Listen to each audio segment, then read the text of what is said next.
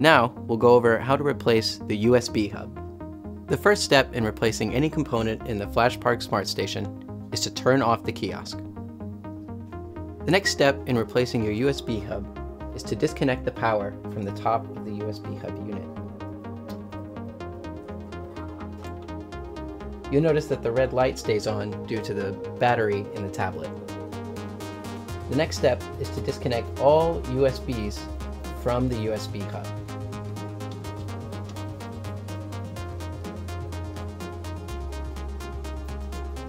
Once you've removed all of your USB cables from the hub, using a Phillips screwdriver, unscrew the two screws at the top and bottom of the unit that are holding it into place.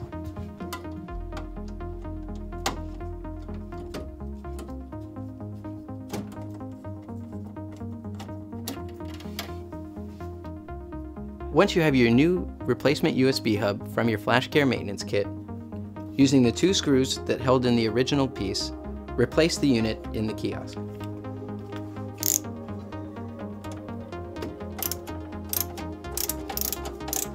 Now that you have the unit firmly mounted in place, reconnect all of the USB cables.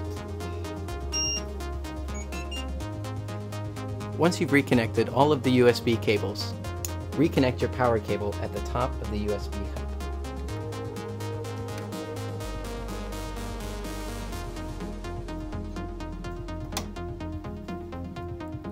The last step is to turn your power strip back on